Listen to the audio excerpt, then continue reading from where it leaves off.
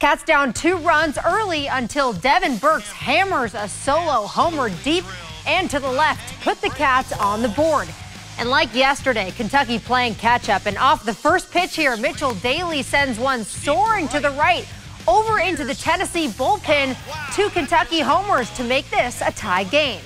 Still bottom four, bases loaded, and Ryan Waldschmidt sends it off the end of the barrel down the right line. That will bring two Cats home, and Kentucky leads for the first time today. Top of the sixth now, Kentucky leads by one, and Dylan Dreiling drives one past Emilien Pitre to bring this back to a tie game at 6-6.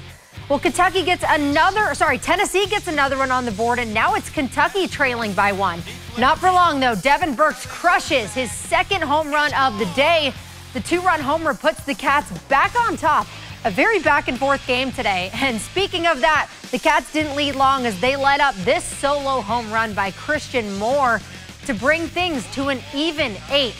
This next play was the killer, though. Top of the eighth, Kentucky lets up a three run homer, again from Christian Moore, to put the Vols at 13.